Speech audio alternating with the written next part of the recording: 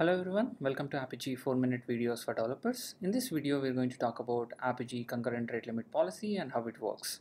Myself Anil Sagar, I work at Apigee as an evangelist and uh, principal architect. Prerequisites, you need an Apigee Edge account which is free, you can register at enterprise.apigee.com. In this video we're going to see how to throttle number of concurrent connections of an API to the target server using Apigee API proxy and concurrent rate limit policy. Let's take a look at the problem statement. Let's have, uh, uh, I mean, assume that you have uh, different uh, stakeholders who is making an API calls to the target server and at any particular point of time target server supports only few number of API calls so let's say if there are five number of API calls, the target server might respond back to the clients.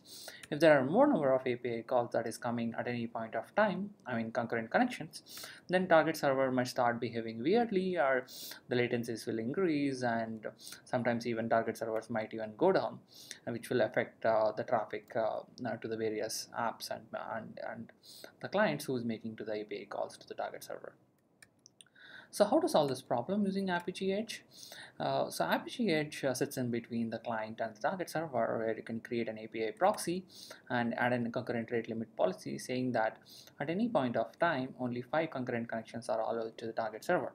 So you can configure this number in the Apigee Edge.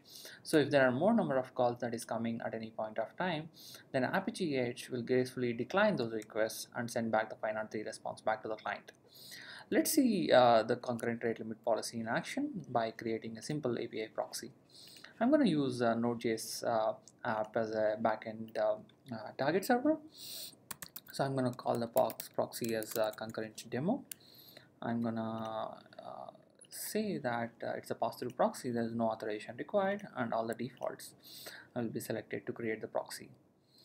So once the proxy uh, gets created, um, we are going to add a, delay to the uh, target server to see the concurrent rate limit uh, policy in action. So we're going to add uh, a delay of uh, 20 seconds um, using the setTimeout uh,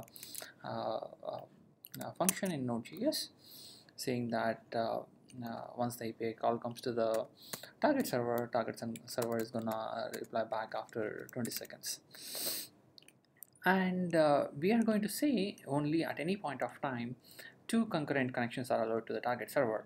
So that we're going to do using concurrent rate limit policy. Uh, you should attach the policy either uh, uh to the target endpoints and uh, and uh, to the default fault rules so that you can you can decrement the counter even if there is an error.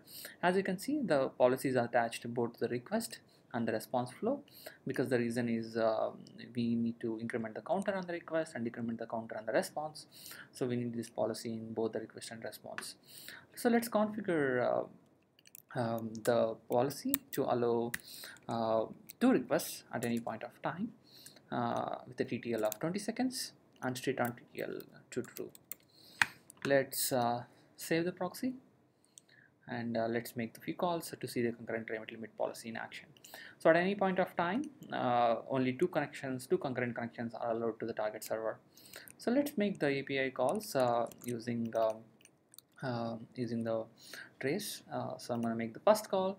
So the call is in progress. Uh, so I'm going to use the postman or, or the browser to make a few other calls. I'm going to use the postman. The second call. This is the third call. This is the fourth call as you can see uh, uh, uh, the the third call and fourth call got rejected because uh, we are allowing only two concurrent uh, connections at any point of time. As you can see only two concurrent connections third and fourth uh, got rejected. So that's how you can limit the number of concurrent connections to the target server using Apigee Edge and the concurrent rate limit policy. Hope you enjoyed this video. If you have any questions please post your questions in the community.apigee.com thank you for watching this video